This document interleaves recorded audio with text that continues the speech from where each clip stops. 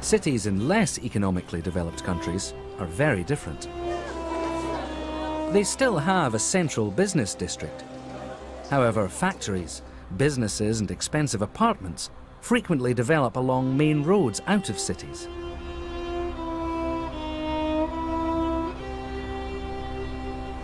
The most impoverished areas, known as shanty towns, are found either on the outskirts or on poor quality or marginal land that is not wanted by official developers because it is, for example, either steep, contaminated, or marshy.